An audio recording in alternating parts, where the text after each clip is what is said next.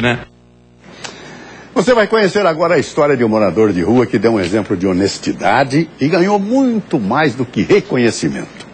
Yula Rocha. Um americano de sorriso doce e um enorme coração. Este é Glenn James, homenageado pela polícia depois de devolver uma mochila recheada com o equivalente a mais de 90 mil reais. Ele encontrou dinheiro numa rua de Boston, na região leste dos Estados Unidos, onde pede esmolas desde que perdeu o emprego há oito anos. Poderia ter encarado a descoberta como um sinal de sorte, mas não. Jamais passou pela cabeça dele ficar com esse dinheiro.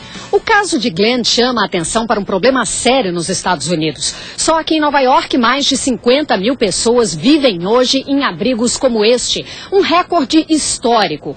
A boa ação do mendigo, pelo menos, desperta o interesse de muita gente disposta a colaborar. Este jovem executivo decidiu buscar uma recompensa para o morador de rua. Pediu ajuda pela internet e foi surpreendido com uma enxurrada de doações mais de 240 mil reais até agora.